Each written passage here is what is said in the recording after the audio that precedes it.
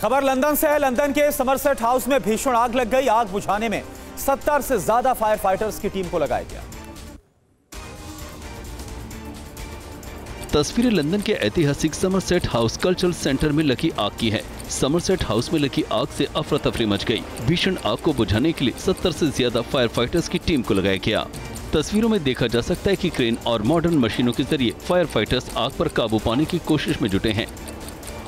चारों ओर से पानी की बौछार की गई। कर्मचारी इमारत की छत के एक हिस्से में लगी आग पर काबू करते नज़र आए। हादसे के बाद समरसेट हाउस को पूरी तरह से आम लोगों के लिए बंद कर दिया गया।